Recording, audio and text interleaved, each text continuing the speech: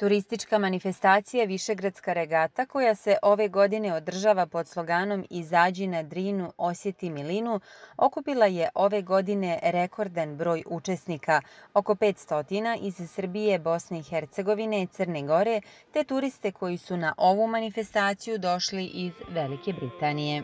Dolazim iz Trebinja, ove godine sam prvi put na Višegradskoj regati, divno druženje, divna organizacija i nadam se da sljedeće godine vidimo još većem broju. Posebno mi se dopada druženje na ovako lijepom mjestu, na Drini, na ljepotici Drini koja je jedinstvena i koju zaista treba predstaviti predstaviti svijetu da još puno, puno ljudi dođe. 8 godina dolazim ovde, to nam je već postala neka tradicija.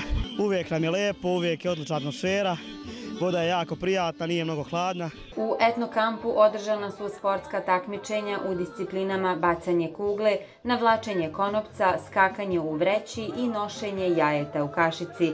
Pobjednik u takmičenju na vlačenje konopca je ekipa iz Vrnjačke banje. Mi dolazimo po četvrti put za redom. Jako je lepa, znači druženje ljudi, znači prvenstveno ima karakter ovaj, da kažem, ovaj, druželjubivi, pa sve ostalo onda takmičarski i ovaj, mi smo jako zadovoljni. Organizatori ove manifestacije su opština Višegrad i turistička organizacija Višegrad. Nastavit ćemo i narednih godina da omasovljavamo ovu Višegradsku regatu.